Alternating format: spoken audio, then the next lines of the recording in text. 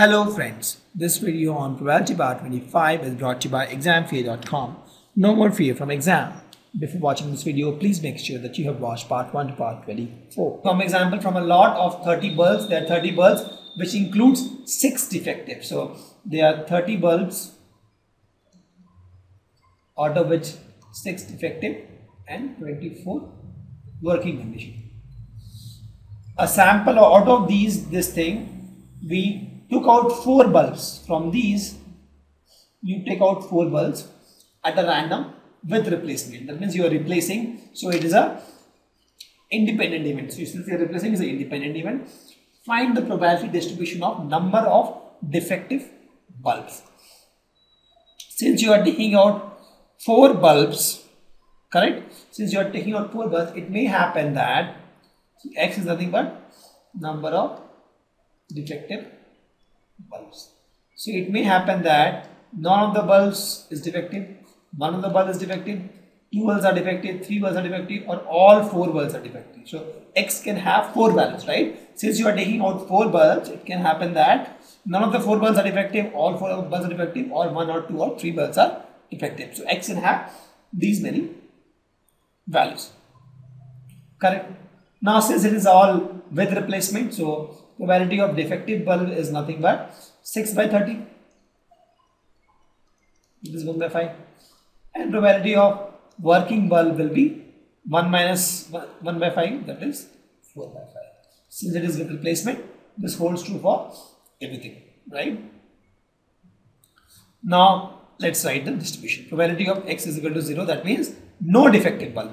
That means both the bulbs you got are working bulbs right sorry, four bulbs you took out, right? Working, working, working. All fours are working.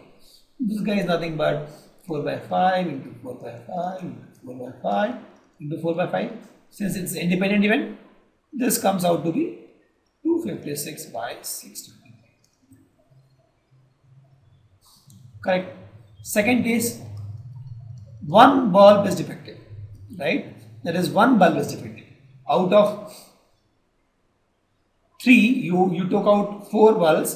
That means 3 are 3 out of 4 1 defective or I can say probability of 1 defective and 3 working this is the probability I have to find. This is nothing but out of 4 1 if is defective right? For defective the probability is 1 by 5 into probability of non-defective there is 4 by 5 to the power 3. That becomes 256 by 60. Probability of x is equal to 2 is nothing but probability of 2 defective and 2 working. That is nothing but from 4 you have 2 defective and probability of defective is 1 5 to the power 2 and 4 by 5 to the power 4 minus 2 is 2. This comes out to be 96 by 625.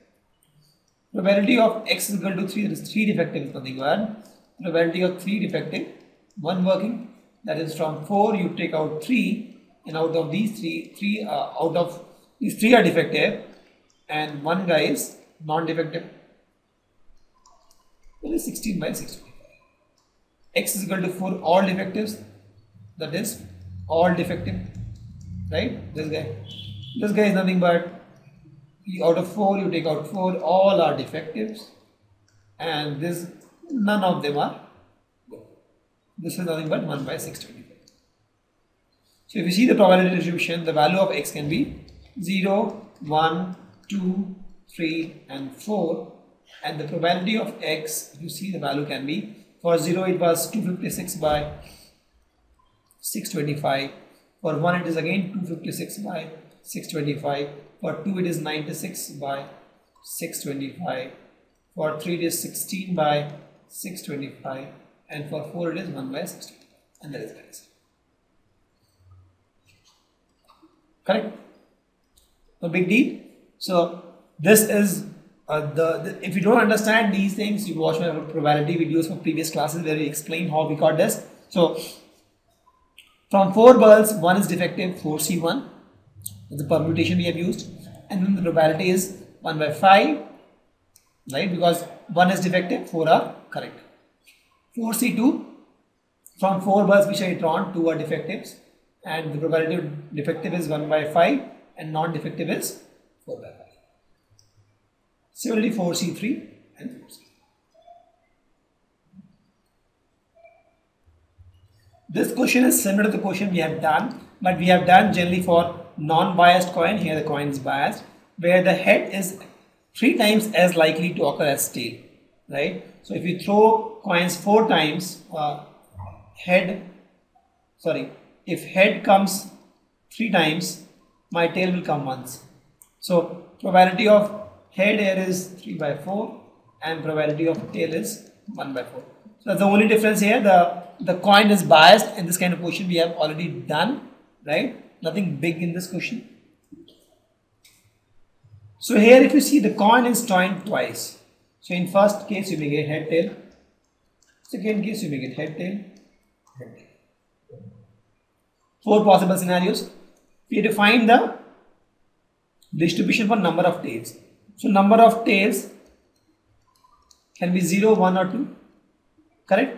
You can have 0 tails, 1 tail. So if you see this is HH, HT, TH and TT. So number of tail is 0, 1, 1 and 2. Correct?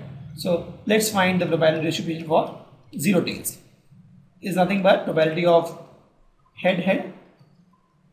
Since they are independent events, probability of head is what? 3 by 4. This is 3 by 4 into 3 by 4. That is 9 by 16. Second is probability of getting one tail. So it can be probability of head tail plus probability of tail head. Right? So probability of head tail is what? Head is what? 3 by 4. Tail is what? 1 by 4. Plus tail into head, tail is what? 1 by 4. Tail, head is what? 3 by 4. Since they are independent event, I'm just multiplying it, right? Because if this is not independent event, then we have to use PHT is nothing but probability of H into probability of T given H. But since it's independent events, we just multiply. So this becomes 3 by 8. X is equal to 2, that means they are two tails, nothing but probability of tail into probability of tail. Right? They are independent events. Probability of tail is what? 1 by 4. Right? Into 1 by 4 that is 1 by 60. So if you see here, the value of x was 0, 1 and 2 and the probability of x, if you see, was nothing but for 0 it was 9 by 16, for 1 it was 3 by 8 and for 2 it is 1 by 16. So if you add all these also you get 1. Find the value of k for the probability distribution this. So it's so one thing we know that the sum of this has to be 1 if it is a random variable. So let's add this. This becomes k plus 2k plus 2k plus 3k plus k square plus 2k square plus 7k square plus k is equal to 1. That is nothing but 10k square plus 9k minus 1 is equal to 0. So if you solve this, this becomes 10k minus 1 into k plus 1 is equal to 0 right? Because 10k I can 9k is recognized as 10k minus k. This becomes 10k minus 1 into k plus 1 right so this becomes k is equal to 1 by 10 or k is equal to minus 1 but k can't be negative because k is one of this value here.